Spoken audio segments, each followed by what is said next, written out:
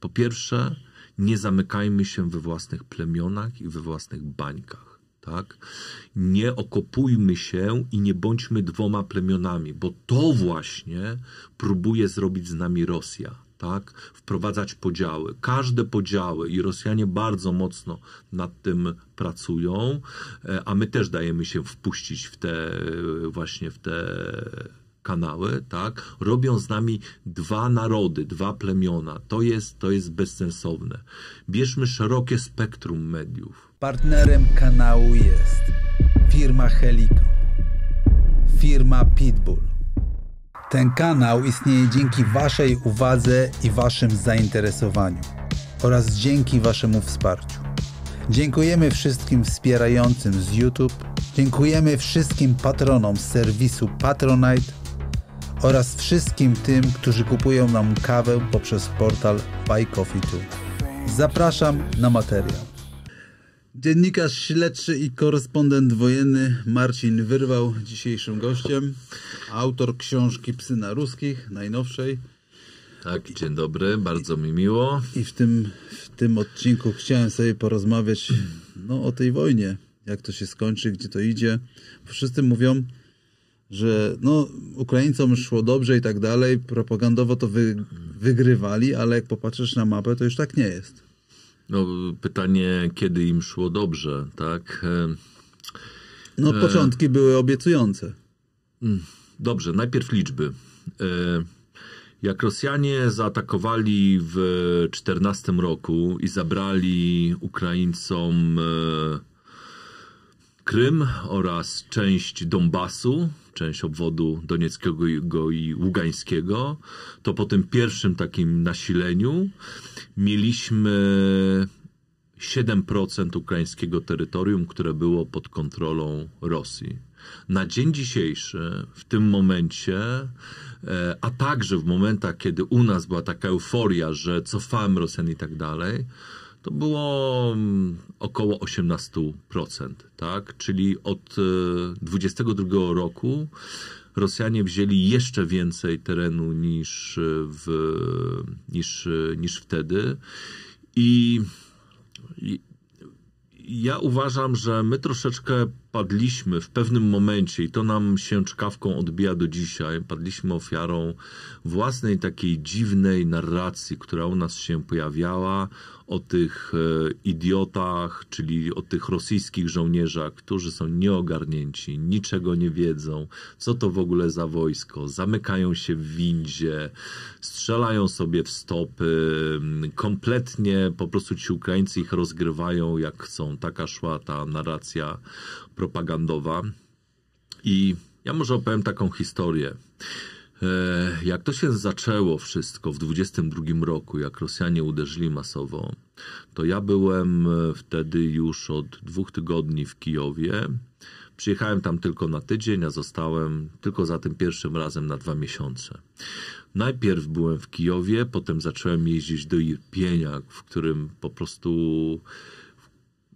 dopiero zrozumiałem, co się wokół mnie tak naprawdę dzieje. To tak jakbyś wjechał, nie wiem, do jakiegoś miasteczka pod Krakowem i zobaczyłbyś e, od tak, że część domów nie istnieje, inne są pokiereszowane przez artylerię, a w ogóle to wszędzie na ulicy leżą trupy i nie można ich zebrać, bo przez ulicę strzelają snajperzy.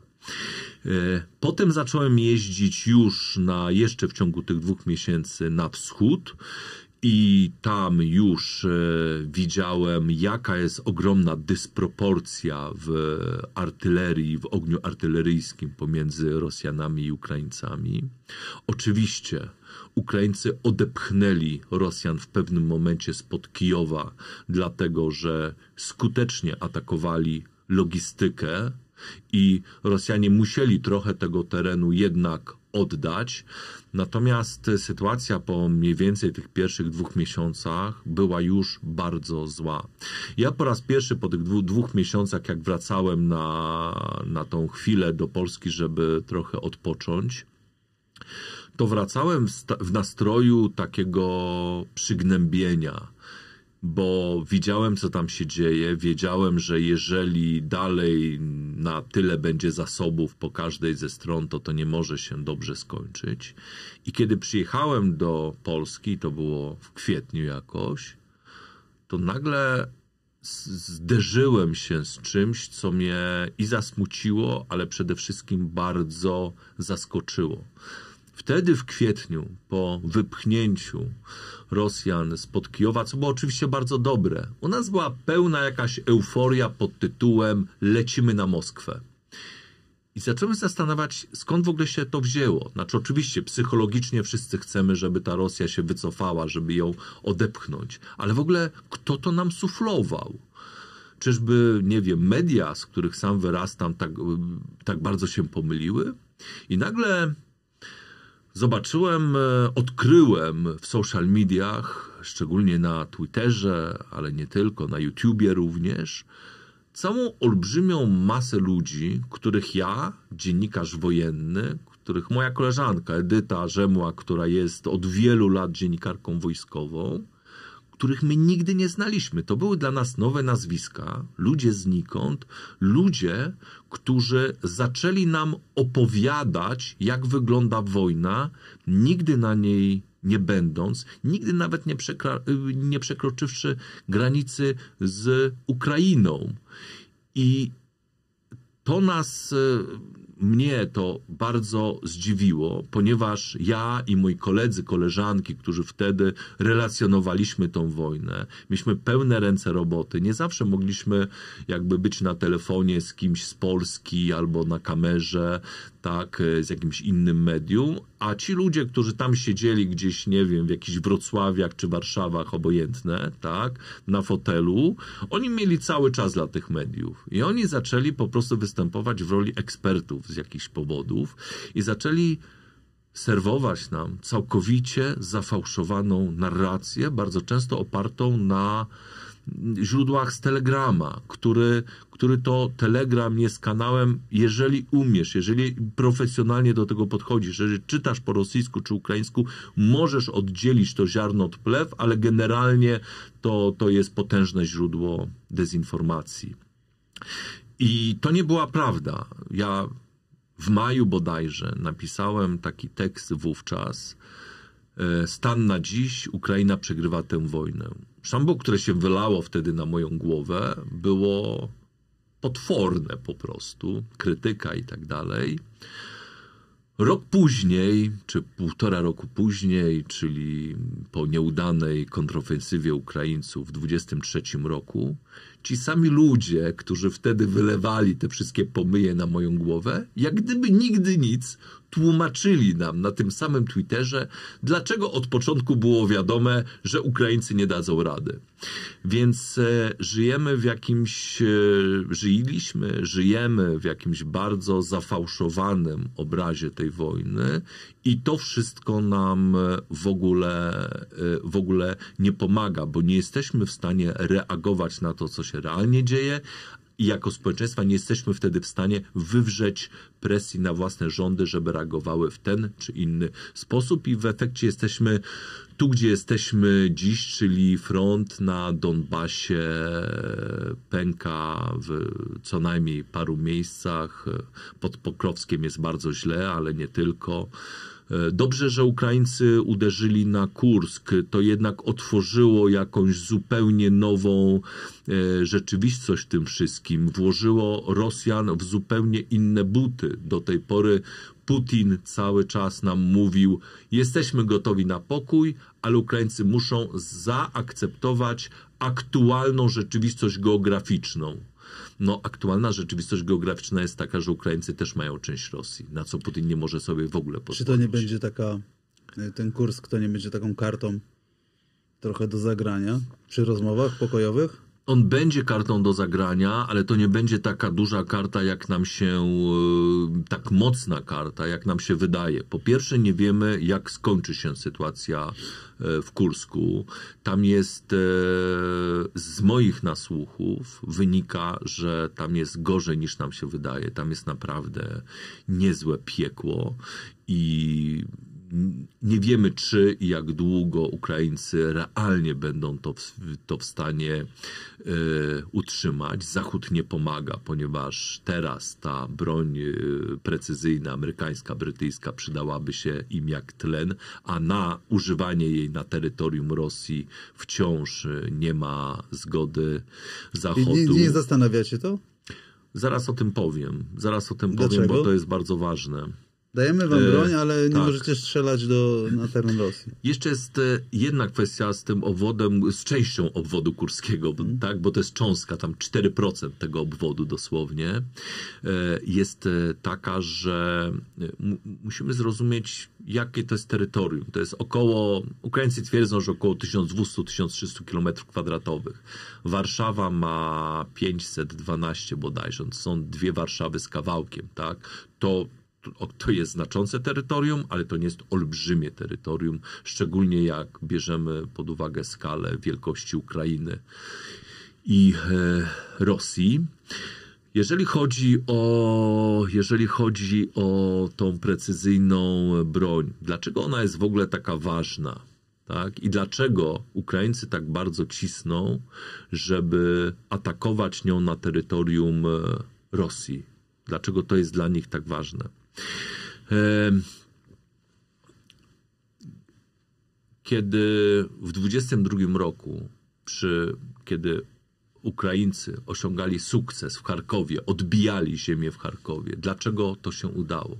Ano w bardzo dużej mierze dlatego, że właśnie wtedy dostali te wyrzutnie wieloprowadnicowe HIMARS i, do, i pociski do nich jeszcze o tym krótszym zasięgu GMLRS, czyli strzelające do 70 kilometrów. Rosjanie, nie spodziewając się tego, całą swoją logistykę, magazyny broni, paliwo, sprzęt mieli tuż pod, tuż pod granicą.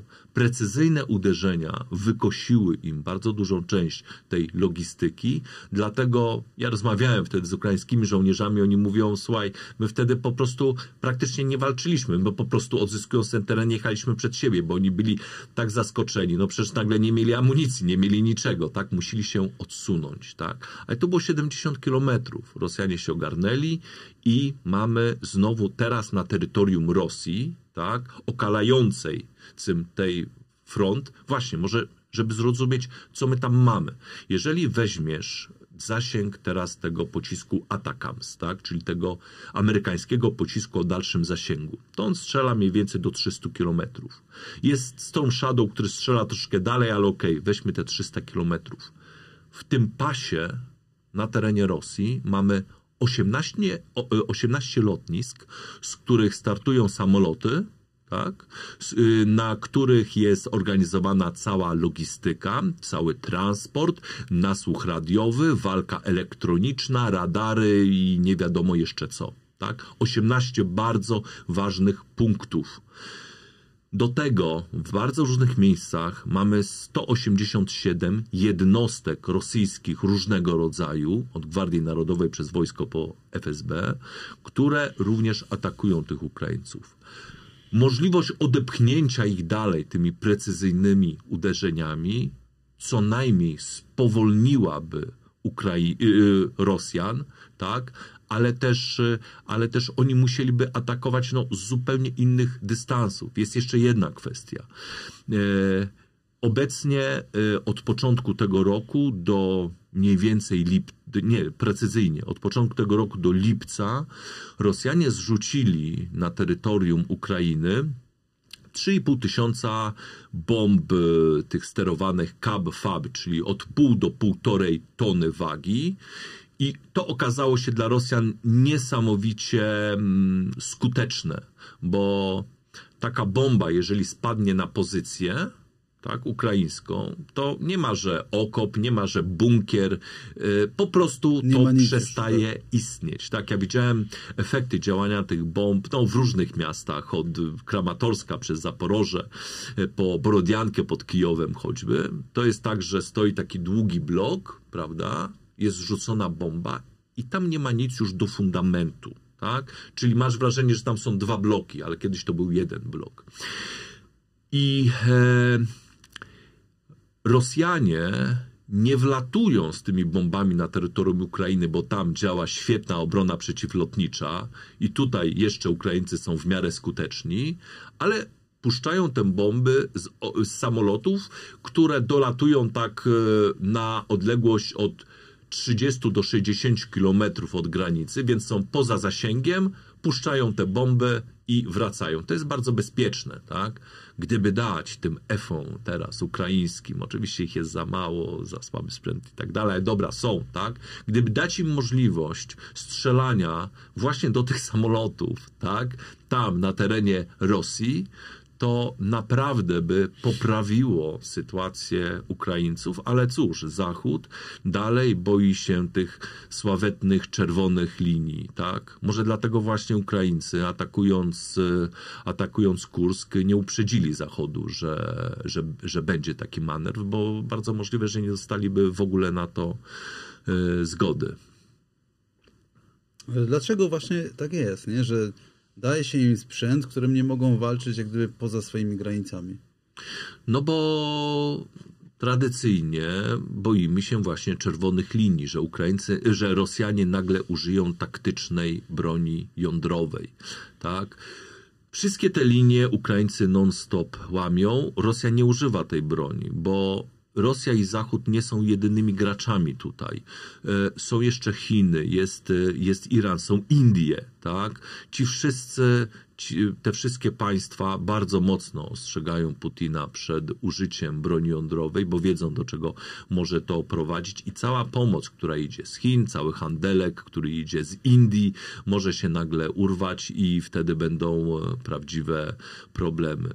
Ale oczywiście ja nie twierdzę, bo ja nie jestem jasnowidzem, że gdzieś w jakimś momencie taka taktyczna broń jądrowa nie zostanie użyta. Tylko w szerszym obrazku, co to zmieni w sytuacji Ukraińców, w sytuacji e, narodów e, naszego regionu, e, Pribałtyki, nas, Czechów. E, e być może to, że Zachód wystarczy, wystraszy się jeszcze bardziej i jeszcze bardziej. Pamiętasz, była taka książka Wielka Szachownica Zbigniewa Brzezińskiego, tak. E, w której on mówi, że były ustalenia pewne i te ustalenia zostały złamane, że ten bufor, którym dawniej była Polska, ten taki poligon między Zachodem a, a Związkiem Radzieckim, przesunął się teraz e, na jak gdyby ziemię Ukrainy, nie? Tak. No i pamiętamy też, bo to też tam dużo jest komentarzy o tym, co się działo na Kubie. Jak Rosjanie zbliżyli się i zaczęli się instalować e, na Kubie, no to w Ameryce prawie była trzecia wojna światowa. Tak, tak. I to samo jest tutaj, nie? Tak, no nigdy, nigdy ta wojna nie wybuchła, a my jesteśmy po raz pierwszy tak naprawdę od wieków e, w sytuacji, kiedy jakaś potężna wojna nie toczy się na naszym terytorium, tylko została przesunięta dalej. Dlatego dla nas to jest, e, przy całym dramacie tego, co się dzieje, dla nas to jest naprawdę... No ale co się, co się stało, że te ustalenia zostały złamane, nie? Bo też się dużo mówi, że tam tych ziem ten czarnoziem słynny i tak dalej został wykupiony. Jeden z gości, który tutaj był, mówi, że tam już stoją banery y, firm y, angielskich, francuskich, niemieckich i tak dalej, nie? O co tak naprawdę jest ta wojna? Ja nie widziałem, ja jeżdżę tam cały czas i nie widziałem żadnych banerów firm, firm znaczy, angielskich, które już jakieś wykupy organizują. Padło, nie, to by było szalone. Padło stwierdzenie, że na przykład y, jeżeli chodzi o kwestię Aha. zboża ukraińskiego, że to nie jest zboże ukraińskie, czy te wszystkie rzeczy, które to są, to są zachodnie firmy, które po prostu handlują dalej tam, nie? Tu jest, y, mówił jeden z gości, że tu jest y, linia przyfrontowa, a tu normalnie rolnicy, czy tam te wszystkie rzeczy traktory i tak dalej, to wszystko pracuje. Um, tak, ja też, ja też y, jakby widziałem to jeszcze, pamiętam jak jeszcze na Charkowszczyźnie toczyła się, toczyła się ta wojna. I tak, wtedy pamiętam, dojeżdżałem do Barwinkowa, które było jednym z takich gorących punktów wtedy walki na Barwinkowo spadały bomby lotnicze, była pełna absolutnie tam po prostu bitwa, a jakieś ja wiem, 10 kilometrów dalej, może nawet nie tyle, jeździł traktor i siał pole. Tylko, że co ten rolnik miał e, za wybór? Tak? On musiał z czegoś żyć. Wszystkie łańcuchy, wszystko po prostu się e, rozpadło. On musiał coś dla siebie zorganizować. Jeżeli chodzi w ogóle o problem ukraińskiego zboża, to to jest troszeczkę to jest troszeczkę szersze i bardziej skomplikowane. Jeżeli ktoś wchodzi z narracją, że nie, to jest wszystko zachodnie i to Zachód po prostu robi na tym pieniądze, no nie, no to, no to, no to nie jest tak. Zawsze, zawsze najprostsze po prostu wytłumaczenia są najbardziej chybione. To jest bardzo skomplikowane. To jest prawda, że ukraińska ziemia, ukraińskie uprawy ten schemat nie wygląda tak jak w Polsce. To są bardzo duże konglomeraty, tak, które, które tam operują. Faktycznie wiele z nich e, e, ma udziałowców, współudziałowców gdzieś z jakich krajów typu Luksemburg e, i, i inne dziwne e, kraje. E, wielu tych posiadaczy, no to są ci tak zwani oligarchowie ukraińscy. Oni oczywiście robią na tym pieniądze, ale to nie jest tak, że ukraiński rząd robi wszystko, żeby to zboże sprzedać, dlatego żeby jakiś Luksemburczyk mógł zarobić. Nie, Ukraińcy E, dla Ukraińców e, rolnictwo to jest bardzo ważna gałąź e, przemysłu.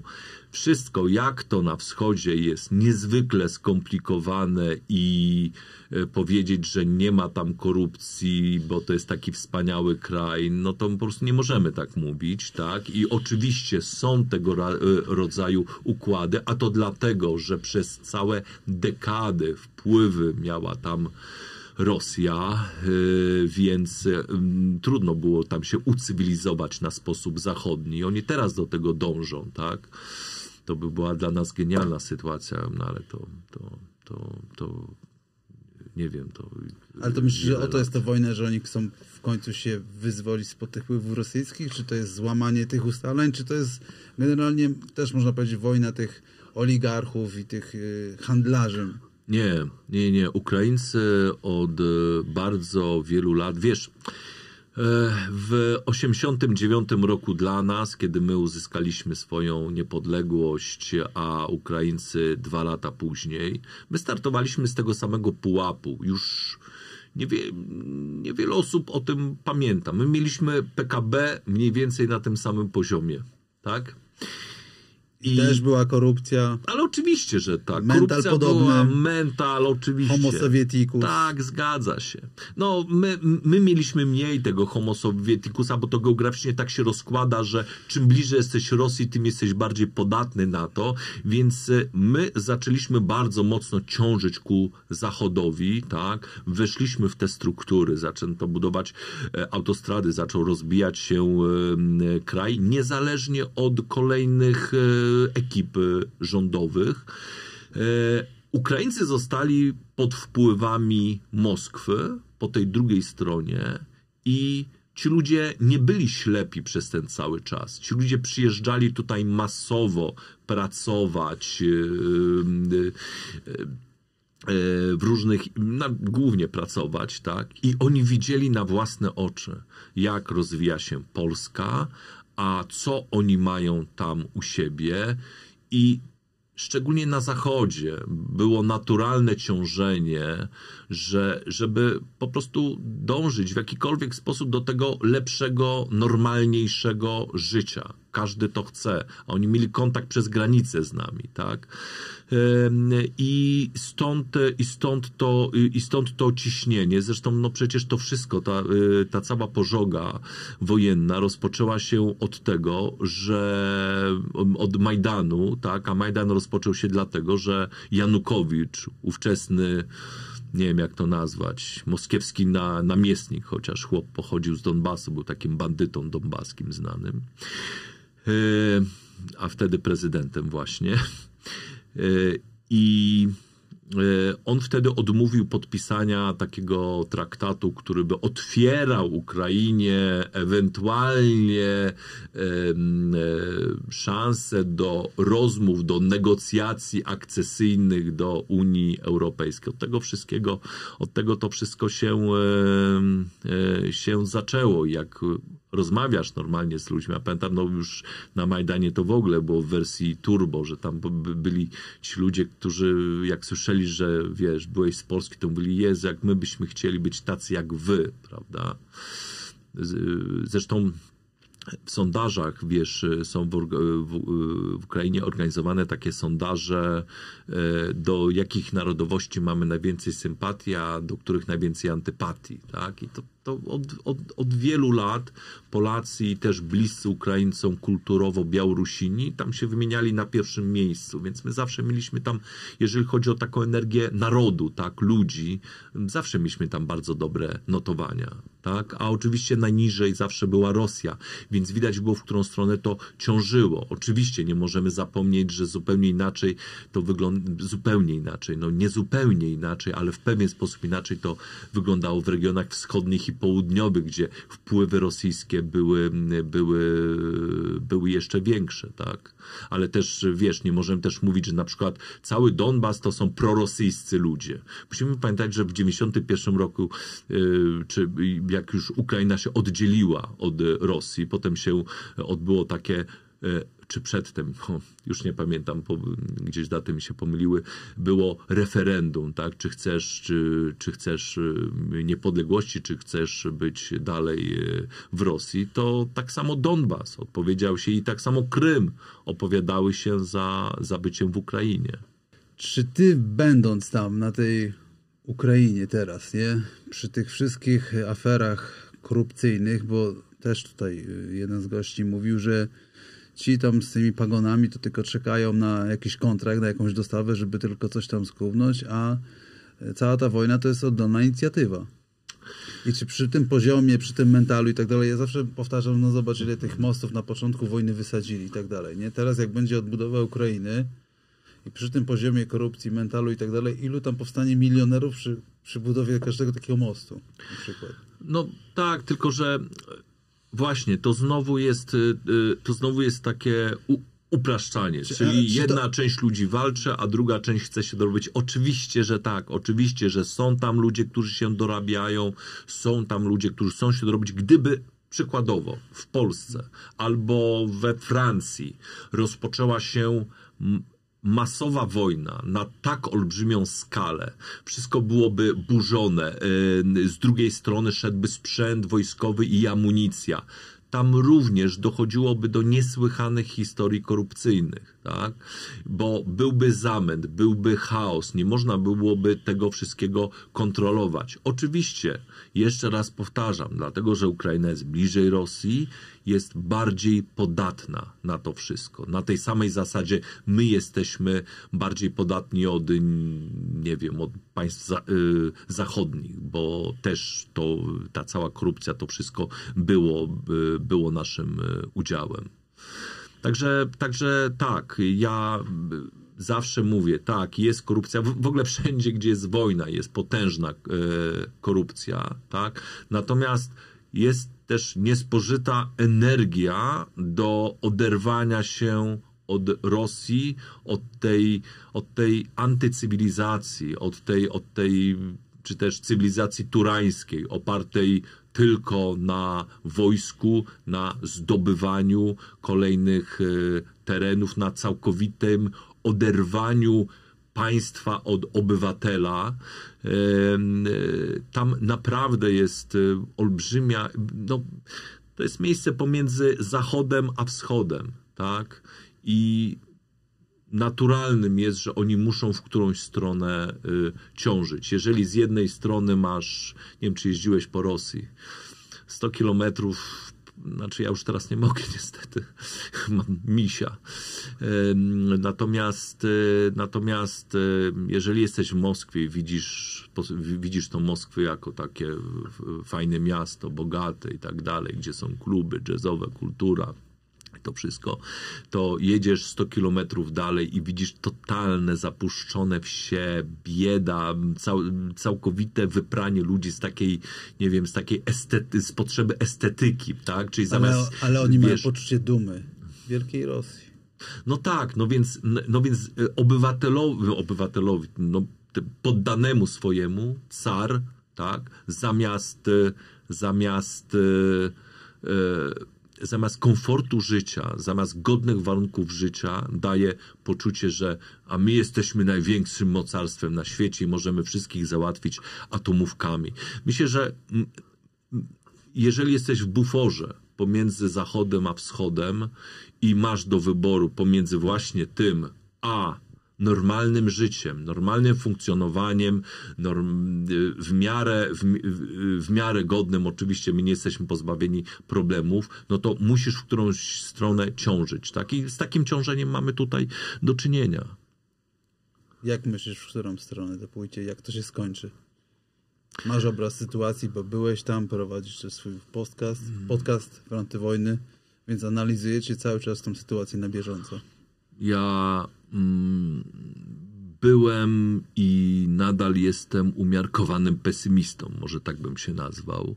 To znaczy, zdaję sobie sprawę e, z tego, jak wielka jest Rosja, jak duże ma zasoby, jak szybko przestawiła się na gospodarkę wojenną, czego dostatnia Europa nie jest w stanie zrobić, bo nam za wygodnie.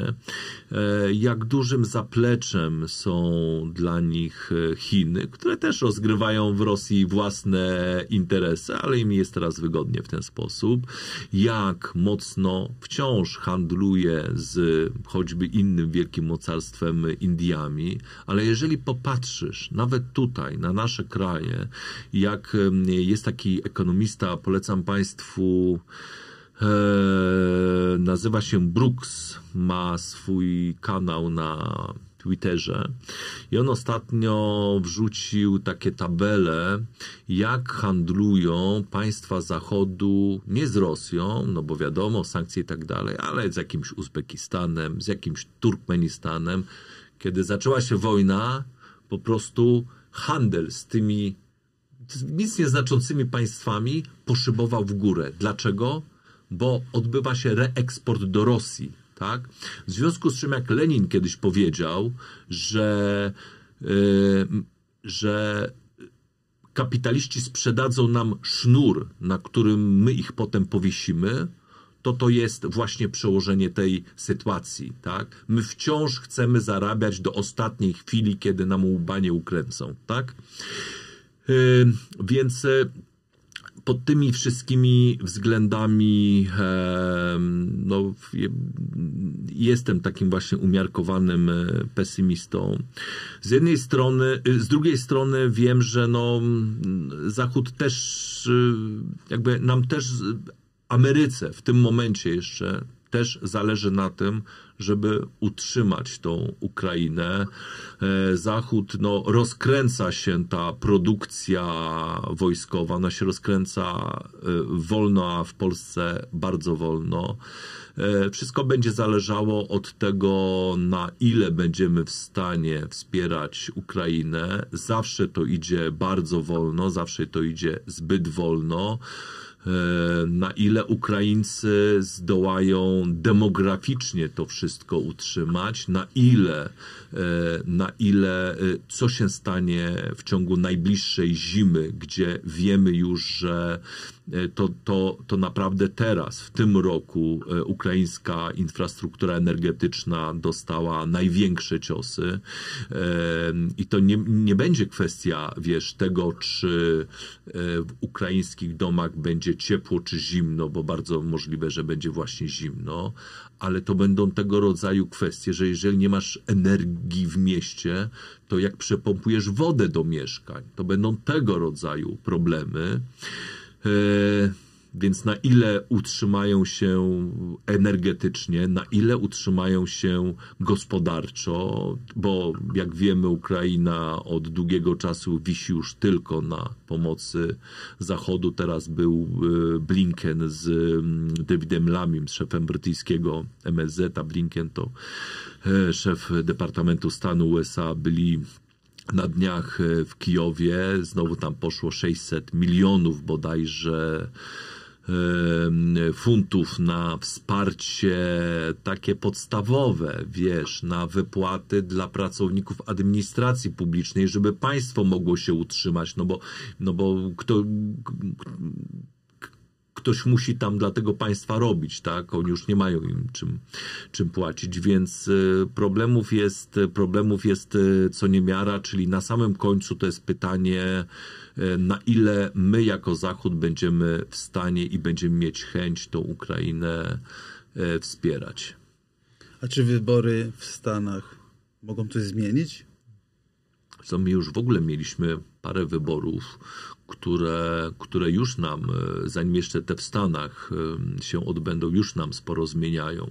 Bo popatrz, spójrzmy na Europę. My, Polska, cały czas wspieramy Ukrainę, chociaż też i słusznie, pod pewnymi warunkami, bo my też mamy swoje interesy do załatwienia. W Wielkiej Brytanii jest dosyć dobra energia do wsparcia, bo Brytyjczycy mają niezwykle traumatyczne e, doświadczenia z Rosjanami, kiedy oni używali na terytorium Wielkiej Brytanii materiałów rozszczepialnych, żeby zlikwidować najpierw Litwinienka, a potem Skripala, tak?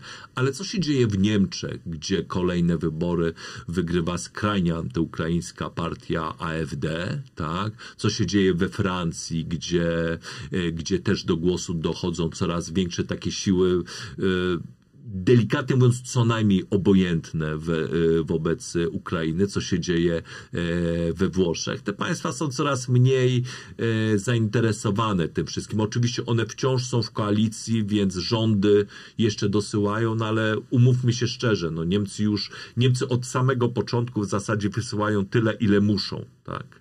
No, no i teraz przychodzi, przychodzą wybory w Stanach Zjednoczonych. No i co? Dla Ukraińców e, już, e, już administracja Bidena była dosyć e, oczywiście wspierała, ale to był bardzo trudny partner, tak? to oczekiwanie na te 60 miliardów ostatnio z kongresu wielomiesięczne, prawda? Biden był twardym partnerem dla Ukraińców, ale to był przynajmniej facet, wiesz, wywodzący się z zimnej wojny, który rozumiał, co tam się dzieje. Czy Kamala Harris będzie jeden do jednego kontynuowała jego politykę? Kamala Harris, która znacznie mniej rozumie z tego z, z Rosji niż, niż rozumiał Biden. Trudno powiedzieć, oby. Jeżeli z kolei wygra Trump, tam mamy całkowitą nieprzewidywalność. Tutaj trudno w ogóle cokolwiek nam cokolwiek nam e, powiedzieć, bo wiesz, te zapowiedzi Bidena, że w 24 godziny zakończy Trumpa a powiedziałem Bidena, tak, Trumpa oczywiście, że zakończy wojnę, bo odetnie wszystkich od, od wszelkich e, e, zasobów. No tak, no to może się stać, odetnie Ukraińców, no i, no i co wtedy, tak. Także, także w, tak, to będą ważne wybory, ale tak naprawdę jak ważne i co się dalej stanie, to my się przekonamy kilka miesięcy, kilka miesięcy później. Podsumowując, nie? Jakbyś, jak ty przewidujesz, jak to się skończy, nie? Bo wszyscy mówią, że w zimie mogą usiąść do, do stołu i rozmawiać i po prostu ta Ukraina zostanie podzielona.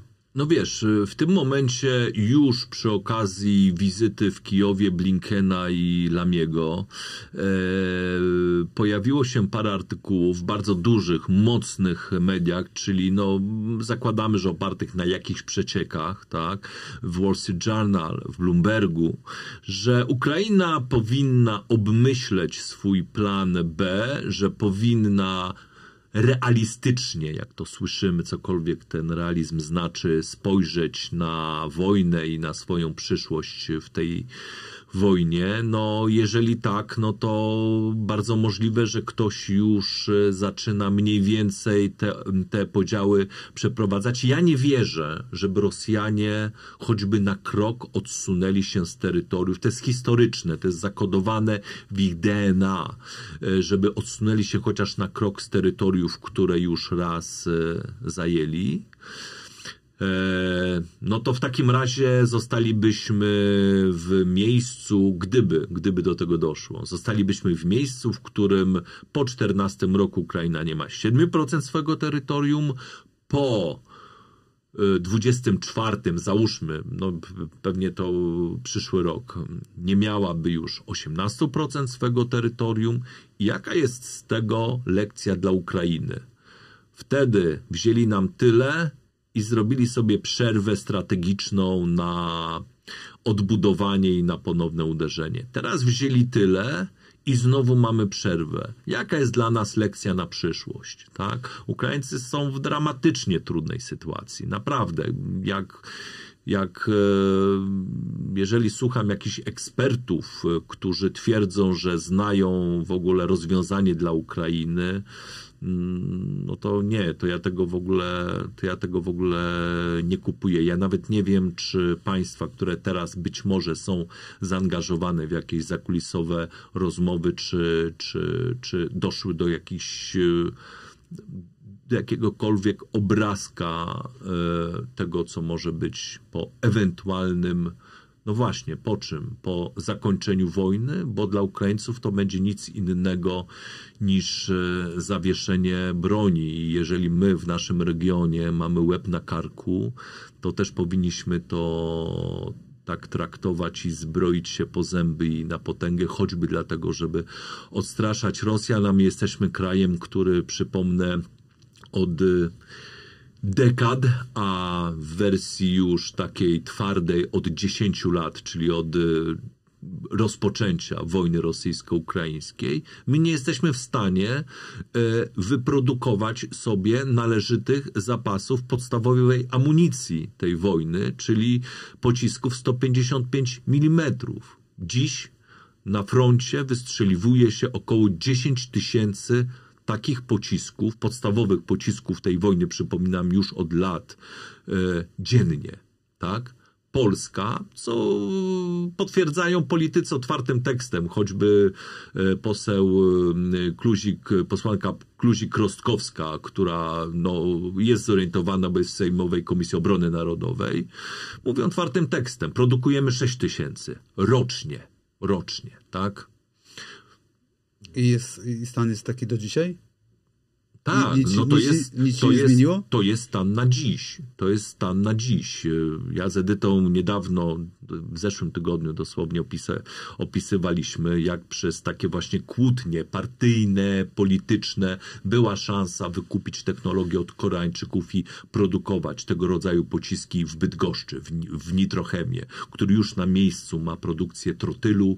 Trzeba by tam po, kupić technologię, postawić kuźnię. Tak? Koreańczycy byli zainteresowani zainteresowani, tak, nitrochem cisnął, tak, ale okazało się, że wszyscy byli z wszystkimi skłóceni na poziomie PGZ-u, tak, Polskiej Grupy Zbrojeniowej, która to te wszystkie firmy trzyma pod e, sobą, w związku z czym e, dwóch menadżerów, którzy wtedy zarządzali nitrochemem i którzy bardzo mocno pracowali nad tym, żeby to wszystko wyszło, miesiąc po wizycie Koreańczyków zostali posunięci z z Nitrochemu i cała sprawa znowu się to była za, zawaliła. A to się wydarzyło za nowego rozdania? Nie, nie, to się wydarzyło za starego rozdania. To był w listopadzie 22 roku byli Koreańczycy w Bydgoszczy i wtedy my to opisujemy w swoim tekście. Podczas byli bardzo zadowoleni z tego. Mówią tak, jesteśmy otwarci, jesteśmy gotowi. I wtedy y, była taka uroczysta kolacja, podczas której doszło do takiej zakulisowej rozmowy i dobrze zorientowana osoba powiedziała tym właśnie panom prezesom, którzy tak mocno cisnęli do tego, mówi bardzo dobrze wam to wyszło tutaj, świetnie się zaprezentowaliście przed Koreańczykami, co oznacza tyle, że prawdopodobnie wydaliście na siebie właśnie wyrok e, w PGZ-cie i niedługo was już tutaj nie będzie, bo plan był przesunięcia tego do, do zupełnie innej firmy. To był listopad, a w grudniu panów prezesów już nie było. Zwołano, zwołano e, zarząd w trybie natychmiastowym. Najpierw, to był grudzień, czyli koniec roku, najpierw podziękowano im za spektakularne wyniki finansowe, jakie osiągnęli, a następnie podziękowano im za pracę. Także w takiej, w takiej rzeczywistości my kurczę żyjemy i to jest w ogóle straszne. No ale przyszedł nowy minister obrony narodowej, nowa władza Mhm. Tak. i dalej nic? No, o tym, że nowy minister obrony narodowej jest dosyć kiepskim, bardzo kiepskim ministrem, to my z Edytą piszemy już od dawna. Przyszła, przyszła nowa władza, rządzi od, y, od no, już dobre... No będzie rok zaraz. No, rok będzie e, zaraz i jak mamy, no nie wiem, choćby, choćby no nie wiem, e, weźmy tą amunicję, jak, mamy, jak mieliśmy 6 tysięcy e, rocznej produkcji, tak mamy, tak. E, Znaczy też tr- trzeba wiedzieć, że to nie jest nasza produkcja tych pocisków, bo już zatrzymajmy się przy tych 155. To nie jest nasza produkcja, to jest to, że my składamy to na bazie komponentów z innych krajów, no bo przecież u nas nie ma technologii składania skorup do tych e, pocisków, prawda? Także Czy my sami w Polsce nie produkujemy amunicji 155 od początku do samego końca, tylko to wszystko skądś przyjeżdża.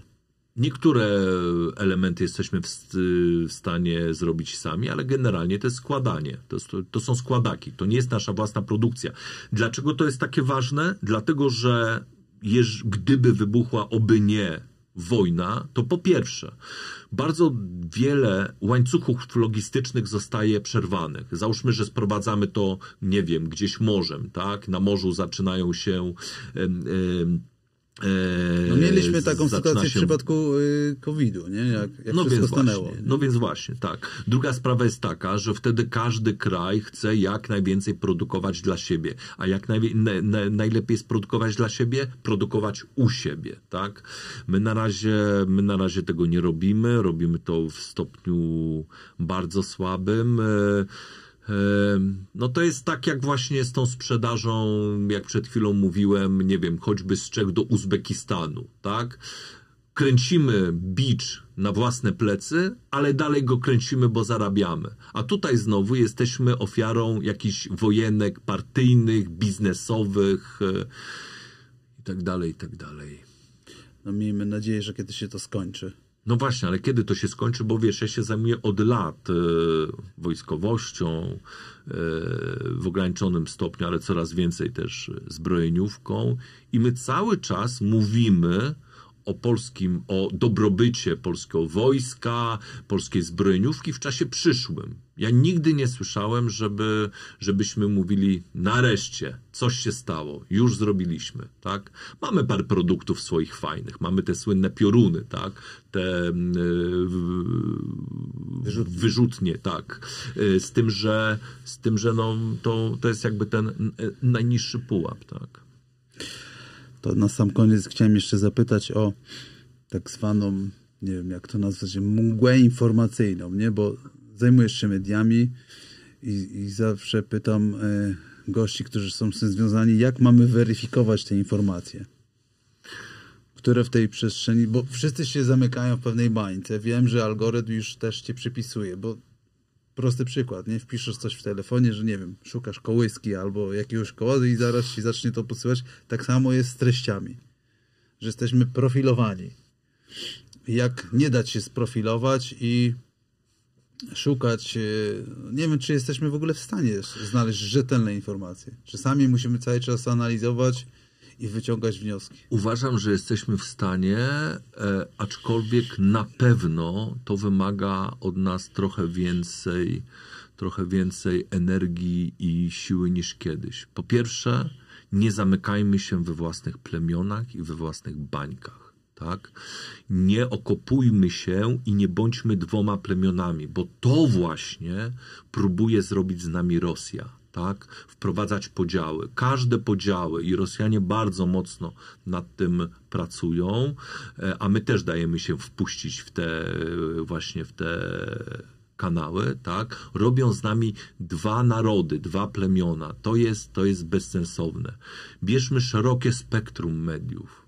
Porównujmy nie traktujmy Facebooka jako, wiesz, ja dzwonię, dzwonię, e, dzwonię do swojej znajomej, takiej starszej osoby i ona mi opowiada jakąś historię z mchu i paproci. Ja mówię, ale zaraz, e, skąd ty to wzięłaś? No z internetu. No ale dobrze, ale jak, e, e jak jest źródło tej informacji? Facebook. Rozumiesz? E, e, no, Facebook nie jest żadnym źródłem, bo pan Henio coś napisał, ale, tak? ma, który zresztą e, pisze z Moskwy, tylko Marcin, ale też jest y, drugi problem się pojawia. Nie wiem, czy ty widziałeś te deepfake'i. Ja sam już widzę, co potrafi, wiesz, sami ma, możemy malować obrazy, sami tworzymy teksty za pomocą AI, nie? Tak. I zobacz, jak można dzisiaj, jaką można manipulację zrobić, nie? I jak to rozpoznać? Dlatego... Bo dzisiaj mogę wziąć, już są takie możliwości, że Marcin wyrwał, powie mi tak, ja niestworzone rzeczy. Tak. Tak. I weź się z tego wybroń. Tak, ja wiem. To jest oczywiście bardzo trudne. Ja w ogóle wierzę, wiesz, w, w to, że my jesteśmy bardziej inteligentni. My, tu, Polacy, nasz naród. My jesteśmy bardziej inteligentni niż wydaje się to wielu politykom, który, którzy nas karmią prawicową, lewicową, liberalną, konserwatywną, obojętnie papką tak? Więc e, my naprawdę na takim bazowym poziomie jesteśmy w stanie generalnie odróżnić ziarno od plew, tak? E, media zrobiły się skomplikowane, ale ja wciąż wierzę w siłę zorganizowanych mediów. Ja wiem, jak to działa u nas. Kiedy ja piszę artykuł, e, to uderzam w interesy różnych ludzi, tak? Bo to jest artykuł śledczy i mówię, że ta firma próbowała albo próbuje, albo już skorumpowała jakieś pieniądze, tak? I to nie jest tak, że ja sobie to napiszę, wypuszczę i jest fajnie. Nie. Wtedy ja się spotykam najpierw z moim redaktorem, potem z moim działem prawnym, e, a potem znowu na przykład z moim redaktorem, a potem jeszcze z koleżanką, z którą piszę, tak? I my cały czas to weryfikujemy, a oni nas pytają nie dlatego, że nas nie lubią, yy, czy dlatego, że nam nie wierzą, tylko dlatego, żebyśmy wszyscy byli bezpieczni i podali wiarygodną wiadomość, tak? Oni nas pytają, skąd, dlaczego napisałeś to zdanie, jaki masz na to dokument, jakiego masz na to świadka, z kim rozmawiałeś, tak? Weryfikujemy, rozmawiamy, szukamy dodatkowych źródeł. Dopiero wtedy to Y, to y, wypuszczamy jako wiarygodną y, informację. Nikt nas wtedy nie pozwie, my jesteśmy wiarygodni, cały czas wierzę w siłę dużych, zorganizowanych w ten sposób mediów, działających na zasadzie własnych ludzi, którzy kontrolują dziennikarza na wielu poziomach. To śmiesz twierdzić, że ci internetowi eksperci takich działów prawnych nie mają? eksperci internetowi. No, słuchaj, znaczy, ja w ogóle, nie wiem, jestem tutaj u ciebie w podcaście. Ja wiem, jakie tutaj mogą wynikać e, jakby problemy dla ciebie, prawda? Bo, nie wiem, ktoś zapędzi się o jedno słowo i ktoś go pozwie, ochrona dóbr osobistych i tak dalej. Wiem, że jakby ty w swoim, tobie w swoim podcaście trudno by było wyprodukować jednoosobowo, tak, bo nie jesteście zespołem ludzi, tak, nie wiem, jakiś duży materiał śledczy. Robisz rozmowy, to jest fajne, ludzie tego, ludzie tego słuchają, wyciągają własne, e, własne e, wnioski, ale jeżeli ktoś inny, inny człowiek, który prowadzi, nie wiem, swój kanał na YouTubie, tak, zaczyna z, z, zaczyna y, wchodzić naprawdę w głębokie rzeczy, to musi mieć tą świadomość, że jest dla siebie sam sterem, okrętem, redaktorem, dziennikarzem, prawnikiem i o ile on sam tego wszystkiego nie zweryfikuje, no to, to tak, no to może mieć poważny problem. Ale to też na tym polega, no bo jeżeli ty uderzysz w kogoś, ja uderzę, ktokolwiek, tak? I niesprawiedliwie zrobisz mu krzywdę, uderzysz w jego dobra osobiste, sprawisz, że on straci jakieś pieniądze niesłusznie, no to oczywiście on macie prawo pozwać. Dlatego tak ważna jest wielopoziomowa weryfikacja i dlatego właśnie jestem od wielu lat tym się zajmując, jestem w tej znakomitej sytuacji, że e, mamy czasem procesy, bo to jest normalne i firmy te, w ten sposób próbują na nas naciskać, ale my je wygrywamy. Nie mamy z tym żadnego problemu. To jakbyś takie proste tipy na sam koniec dla takiego zwykłego użytkownika internetu. Zanim coś przeczyta i tak dalej. Jeden z gości, który pracował w jednostkach specjalnych, e, mówi, że należy bardzo uważać na informacje, które wzbudzają w tobie emocje. Jeżeli ty już, nie wiem, Świetna od, rada. od radości do tam smutku, do wkurzenia i tak dalej, to już dla ciebie powinien być to sygnał i, i zapalać się powinna czerwona lampka, że to, trzeba to sprawdzić. Świetna rada. E, tak. E, dezinformacja gra na emocjach. Jeżeli ktoś pakuje w ciebie tylko emocje, a nie ma tam informacji, albo jest jakaś informacja obudowana wielką tkanką e, emocjonalną, to już jest czerwone światło. Tak. E, proponuję ludziom, żeby wciąż wierzyli w duże organizacje medialne, bo tam nikt nie pozwoli sobie na fejka, który będzie im e, ich kosztował ich wiarygodność, ale też ich pieniądze, bo ktoś ich e, pozwie. Czytajcie media w szerokim wachlarzu. Nie ograniczajcie się do swojej jednej zamkniętej bańki. E, Facebook jako taki, czy Twitter jako taki nie jest żadnym źródłem, tak? Bo może tam napisać każdy, co tylko chce, anonimowo i nie wiemy, czy czytamy faktycznie pana Zdzisława Iksińskiego, czy to jest akurat e, jakiś Alosza Fiodorow, tak? Który siedzi, który siedzi w, w fabryce e, troli w Moskwie i e, realizuje linię Moskwy, tak?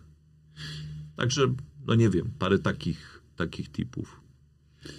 Tyle z mojej strony. Bardzo dziękuję za rozmowę. Moim, Dzięki. Moim dzisiejszym gościem korespondent wojenny, autor najnowszej książki Psy na ruskich. Bardzo dziękuję. Jeżeli uważasz, że ten materiał był godny Twojej uwagi, to dla taktycznego zasięgu polub, udostępnij, zasubskrybuj. Możesz również zostawić działający komentarz taktyczny na minimum 7 słów.